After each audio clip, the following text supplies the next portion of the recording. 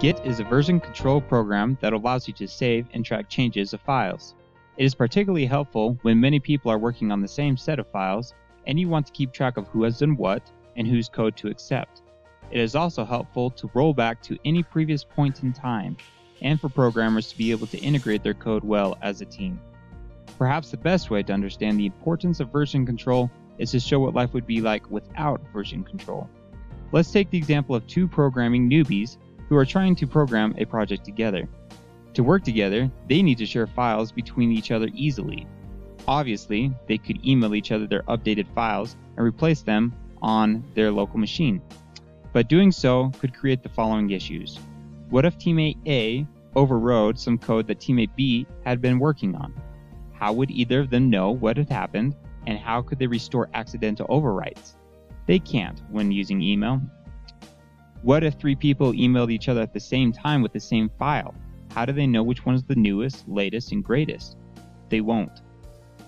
If what somebody did broke the whole code, how could they roll back to the latest working point? They can't.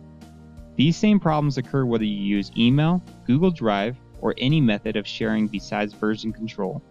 You will see as you proceed through the tutorials that Git solves all of these problems and provides dozens of great benefits and tools to make programming easier for everyone.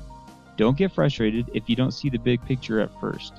Focus on understanding the next few lessons, and the bigger picture will fall into place. There are two pieces of software that we will be using in these tutorials. One is Git itself, and the other is a user friendly program that execute Git statements so that you don't have to use a command line interface. Of course, everything in Git is available through the command line but I strongly suggest using Atlassian Source Tree, a free software tool, to help you easily see and use Git. To install Atlassian Source Tree, go to www.sourcetreeapp.com. Accept default installation settings, which includes installing Git. SourceTree uses Git. It means nothing without Git. One last thing to note. Every company that is even slightly coherent to programming uses some type of source control. Learning these skills is not just a good idea. If you ever want to be useful in this field, it is essential to learn the basics of version control.